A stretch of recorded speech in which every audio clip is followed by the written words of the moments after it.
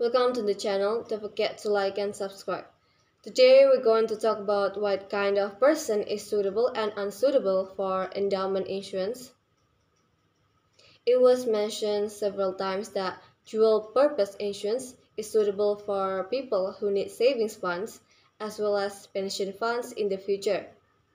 But basically, ownership of endowment insurance is very suitable for someone who is doing long-term financial planning, which is related to their personal and family life.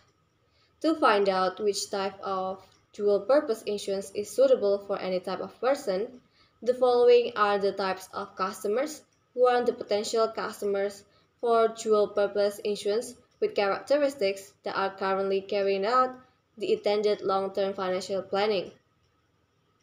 First one, someone who is preparing for education fund.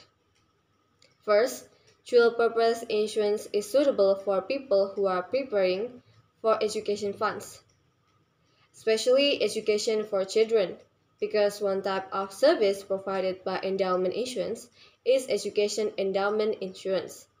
Every parent cares about their child's education, one form to actualize children's education is to prepare the child's own education fund. Parents who are aware of long-term finances will take dual-purpose insurance as a way to save education funds for their children in the future. Plus, every year education funds always increase, especially for education in universities which experience a significant increase. Second, people who are preparing for retirement fund. Second, endowment insurance is suitable for people who are preparing for retirement fund, especially for people who work in the private sector, who generally do not have a pension fund unlike civil servants or workers in other government institutions whose pension funds have been prepared. Workers in the private sector, especially those who work in creative industries with large but uncertain incomes. Talking about pension funds is a very distant thing for these workers because stable income alone is difficult to predict.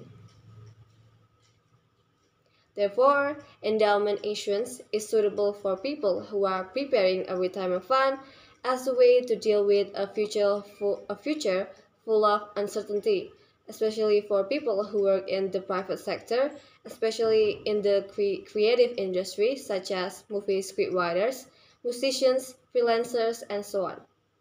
Third, someone who is preparing for a wedding fund. Thirdly, dual purpose insurance is suitable for people who are preparing for wedding funds. Basically, a wedding fund needs to be prepared like an education fund. Although wedding funds can be arranged as needed, high costs are still needed in order to carry out the wedding process.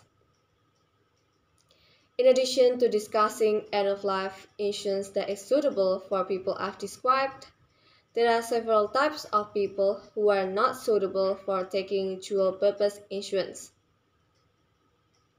Less suitable in this case does not mean it is not allowed to take dual-purpose insurance it's just that the characteristics are not suitable for dual-purpose insurance itself. First one, people who have idle money and intend to increase wealth. The first type of people who are not suitable for taking out endowment insurance are people who, are, who have leisure money or idle money and are intended to increase their wealth. Why is this type of person not suitable for taking dual-purpose insurance? Because this type of person does not have long-term financial awareness. Endowment insurance is suitable for people with long-term awareness, while someone who intends to increase wealth is a person who is focused on now. That is, every money earned is focused on increasing wealth every day. Second, people who prefer to play protection.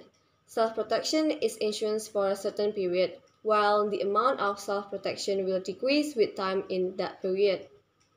If someone chooses to play protection, then that person is not suitable to take dual-purpose insurance. Then again, because endowment insurance is suitable for people who think about the long-term future. Therefore, because protection insurance is insurance for a certain period of time, someone with a focus on protection is not very suitable to take out endowment insurance.